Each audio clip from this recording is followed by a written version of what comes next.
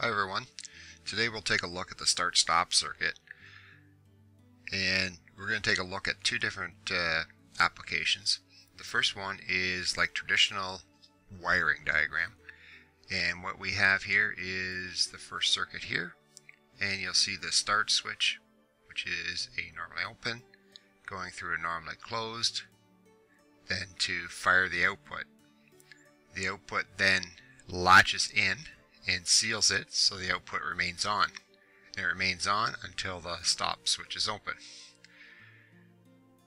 Now we also are going to put a jog in there and you see the jog on X2 and when it fires it will actually go through here turn on the output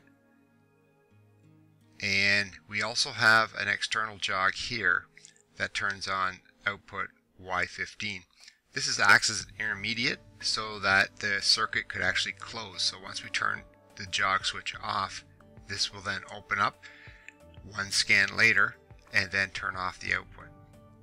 So let's see this in motion and we'll just call up the simulator.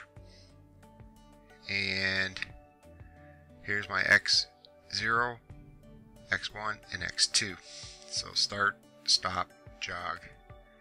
So start it. You can see that it's flowing through here and I turn off the start and it seals it in and the output's still on.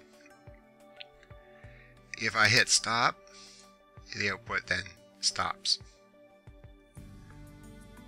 Now keep in mind X1 is normally closed, so it's on right now. Now if I hit jog X2, you can see the jog will actually turn on the output as long as the jog is held and you see this intermediate here will also be on. So when I turn off X2, the intermediate goes off, therefore the output then goes off. And it's important in the PLC that you understand that everything is make before break. When you actually wire things up, they are always wired up break before make. So you can see the physical contacts leave and then make it again. Okay, let's take a look at our second example. In the second example, what we're going to use is a set and reset instruction. So this is a little different. And what we're going to do is X8 um, is the start, X9 is the stop, and X10 is the jog. And our output's going to be Y8. So here what we're going to have is a start We'll actually set a condition, which means turns it, turns it on, and the stop will reset it. And you'll notice we have the jog, and in the jog X10, we have a normally open contact here. And then we have a trailing edge one shot. And what this will do is reset it after we turn the jog off.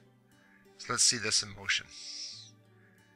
So X8 comes on. You see the, the set condition happens. And X9 will then reset it. So set and reset or start stop. On the jog function, X10, we jog it, it turns on. We release the jog, it turns off. On, off. So that's it for today. Next time, we'll talk about memory retentiveness